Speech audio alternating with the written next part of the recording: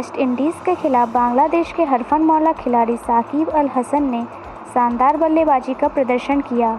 Taunton में बांग्लादेश और West Indies के बीच खेले गए वर्ल्ड कप 2019 के तेईसवें मैच में साकिब अल हसन ने वेस्टइंडीज़ टीम के घातक गेंदबाजी लाइनअप के खिलाफ दमदार शतक जड़ा है।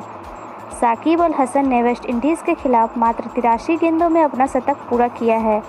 इस पारी में उन्होंने तेरह चौके लगाए हैं। वनडे क्रिकेट में ये साकिब अल हसन का नौवा और वर्ल्ड कप 2019 में लगातार दूसरा शतक है। इससे पहले साकिब अल हसन ने इंग्लैंड के खिलाफ शतक लगाया था। हालाँकि उस मैच में बांग्लादेश को मेजबान टीम के हाथों हार का सामना करना पड़ा था। 322 रन के लक्ष्य का पीछा करते हुए साकिब अल हसन नौवे ही ओवर में बल्लेबाजी के लिए आ गए थे। इसके बाद उन्होंने तमीम इकबाल और लिटन दास के साथ साझेदारी कर टीम के स्कोर को आगे बढ़ाया।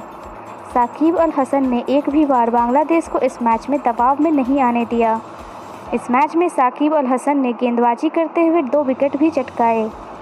वर्ल्ड कप के इतिहास में लगातार दो शतक लगाने वाले मामले में साकिब अल हसन दूसरे बांग्लादेशी खिलाड़ी बन गए हैं। उनसे पहले 2015 के वर्ल्ड कप में महमूदुल्लाह ने दो शतक लगातार लगाए थे।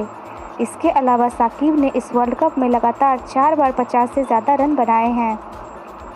जो बांग्लादेश की टीम के लिए एक रिकॉर्ड है।